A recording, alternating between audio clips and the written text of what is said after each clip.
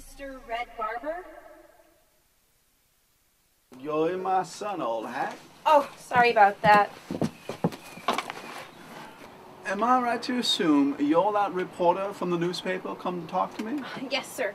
Brendan McKenzie, it is an honor to meet you. I swear my dad must have heard every broadcast of yours. He would always say, no one tells baseball like Mr. Red Barber. Well, it's always a pleasure to talk to a fan. It makes dealing with the press a little more tolerable. Yeah, I could say that, being a former pressman myself. You, uh, looked like you were pretty deep in thought when I walked up. I- I hope I didn't interrupt. oh, no.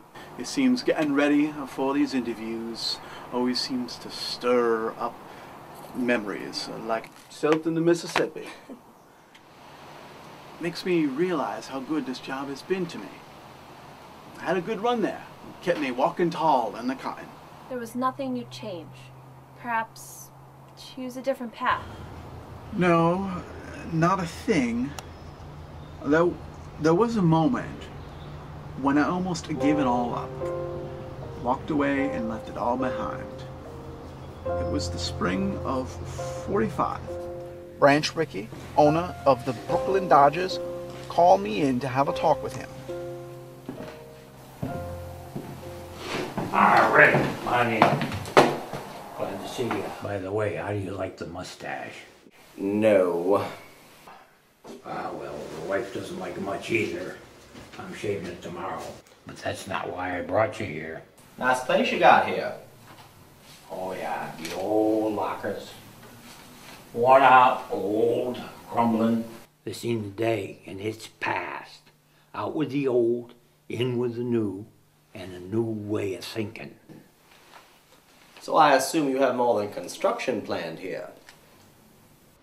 Ah, Red, you're right. You should be honored by what I'm about to tell you. I just got through telling the boys upstairs and the board, and you're only gonna be the second to know.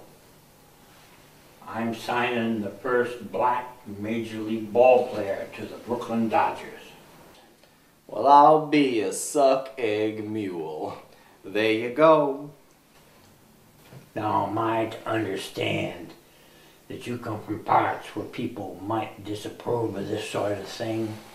And you being one of those people might have a problem doing your job because of this development? Mr. Rickey, I prefer to be the only one to put words in my mouth. But yes, you could say I have a problem with this development. Do you even have a player? I have my eye on someone. Robinson is his name. But if it isn't him, it'll be someone else. This is happening. Why now? Why like this? Well, back when I was coaching college, we had a Negro catcher on the team. We had an away game in Indiana, and when we got to the hotel, the man behind the desk wouldn't let him check in. So I told them that he's staying in my room, and I sent the rest of the boys to theirs. And later, when I went up to check on him, I found him sitting on his cot with tears rolling down his cheeks. And he was scratching at his fingers like this, trying to rip the skin off, saying, Mr. Rickey, Mr. Rickey, if I was white, I'd be just like everybody else. Well, that boy's words have haunted me to this day, and now I'm in a position where I can change that. And that is why this is happening, and it's happening now. I feel for that boy. I do. But that is not how things are done, and I do not know if I can be part of this.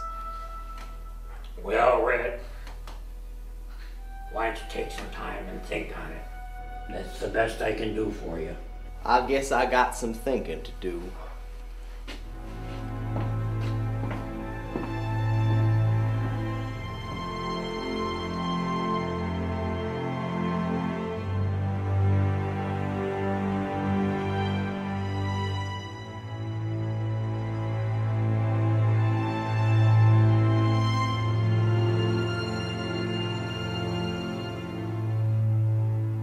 I just don't know what to do.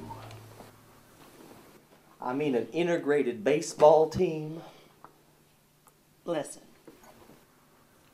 you don't have to quit right now. Let's just have a martini.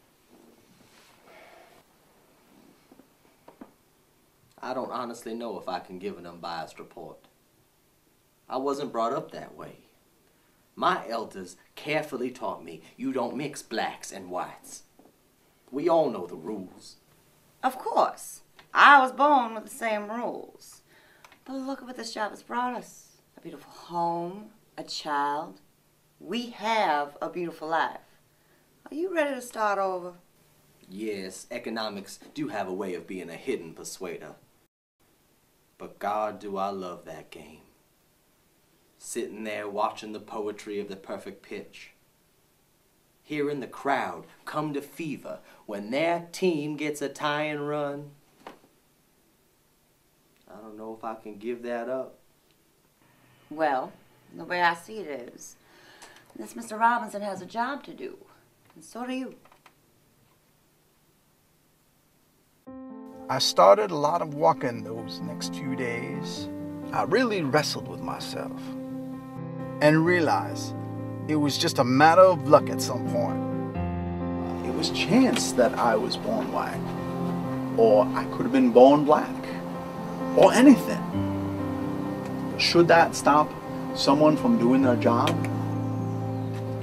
Then I heard a voice, I swear. A voice that said somewhere deep down, it said, report. Re- report. And that's all there was to it. That's all I did. I merely reported it. Hello, everybody. Old Redhead speaking from here high up in the catbird seat at Ebbets Field. I'd like to welcome you to the first day of. And Robinson did the rest. And old doctor, he did ever show us.